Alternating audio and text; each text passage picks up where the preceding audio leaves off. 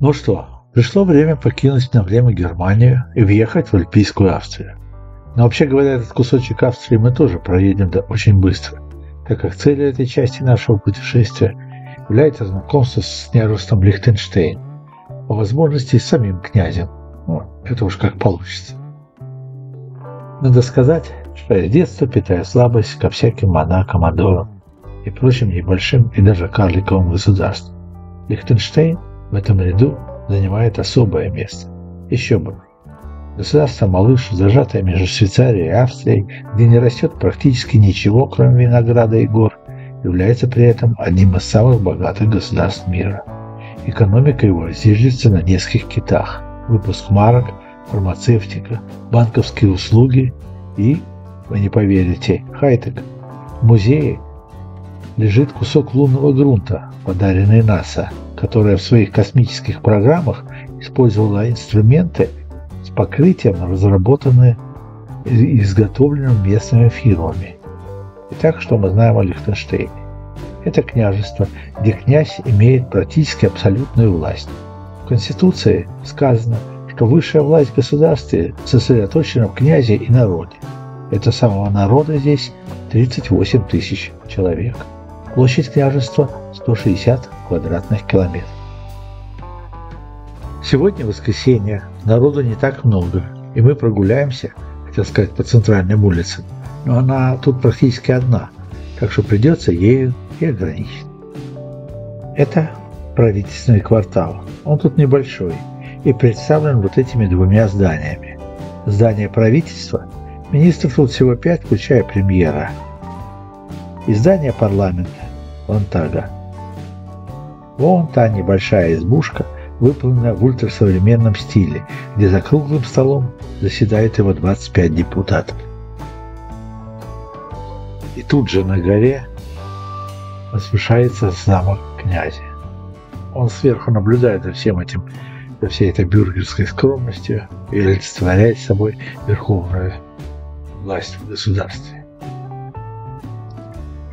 Кстати, когда я говорил о бюргерской скромности, я не преувеличивал. Вот посмотрите, вы видите мэрию и улицы города с пятью тысячами населения, а между прочим профицит бюджета этого городка, то есть превышение дохода над расходами, в 2019 году составил 800 миллионов евро. Куда они денежки тратят? Вообще лихтенштейнцы, по нашему беглому наблюдению, отличается поистине ленинской скромностью и библейским нестяжательством. Официант в ресторане отказался брать чаевые, заявив, что он уже рад, что нам все понравилось. Мы проверили, стоимость обслуживания не была включена в счет. А в пятитысячном городке с бюджетом города-миллионника нет ледового катка, и народ спокойно катается на роликах.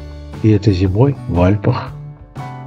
Кстати, если вы смотрите этот клип и еще не подписан на мой канал, то сейчас можете исправить эту оплошность. Можете поставить лайк или дизлайк. Можете написать комментарий ваше впечатление. Обилие художественной направленности инсталляций на улицах характеризует вкусы отцов города. С моими вкусами они, к сожалению, расходятся.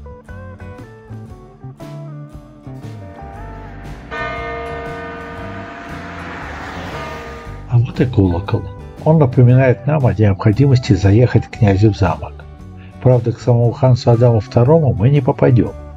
Он устраивает прием всех желающих и, говорят, кормит их завтраком раз в году, 15 августа.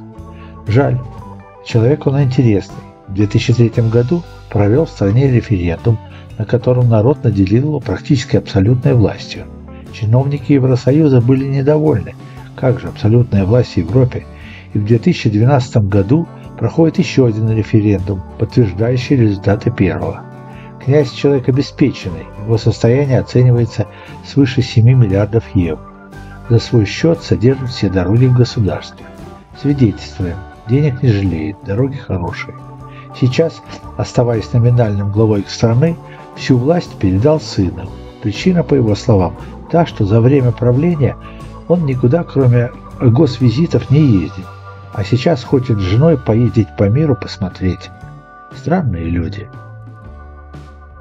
Ну вот и закончилось наше краткое посещение княжества Лихтенштейн, вернее его столицы Вадас. Спрятанная в горах от всех бурь и тревог нашего времени, эта страна, судя по всему, то, что мы видели, живет спокойно и счастливо. Ну, надо пожелать и нам того же самого.